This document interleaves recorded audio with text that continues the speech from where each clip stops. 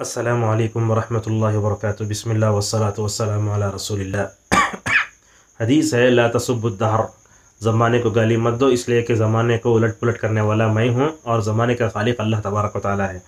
اس حدیث سے پہلی بات یہ معلوم ہوتی ہے کہ الدہر اللہ کے ناموں میں نہیں ہے، اس لیے کہ اللہ کے جتنے نام و صفات ہیں، پورے مشتق ہیں۔ الدہر اس میں جامد ہے، اللہ کا نام نہیں ہو سکتا۔ ابن عثیمین رحمہ اللہ کہتے ہیں کہ الدہر جو ہے کیا ہے؟ وہ مقلب ہے، اللہ مقلب ہے۔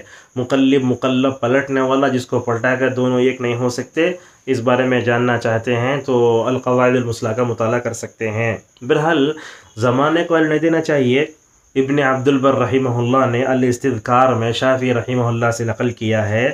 عرب کیا کرتے تھے؟ گالیاں دیتے تھے زمانے کو۔ یا خیبت الدہر، زمانہ برباد، زمانہ دلندر وقت۔ آج کے زمانے میں اگر بولے تو نہیں۔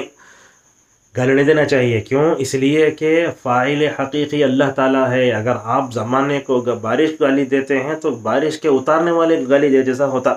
تو لہٰذا ابن القیم رحمہ اللہ کہتے ہیں کہ زمانے کو گالی دینے والا یا تو مشرق ہو سکتا، کافر بھی ہو سکتا اور اللہ سر کے بے دبی کرتا انہیں لہٰذا آج بھی ہم دیکھتے ہیں کہ ہمارے دن آخری غلطیاں بہت ہیں۔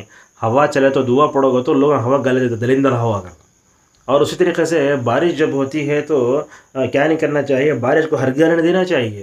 ایک مرد اچھا کپڑا پہننا کہیں جا رہا ہے، بارش ہوئی تو دیکھو پوری، بارش میرا خراب کر ڈالی عورتیں میک اپ کر لگ جاتی ہیں اس میں شادی میں۔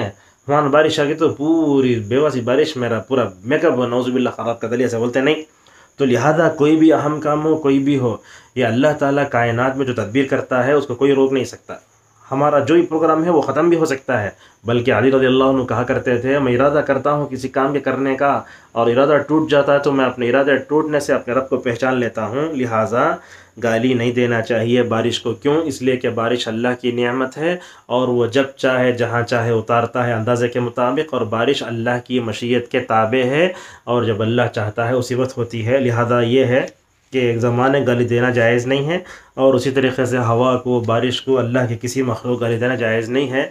اللہ تعالی ہم سب کو عقیدے کے اس باریکی پر عمل کرنے والا بنائے، آمین۔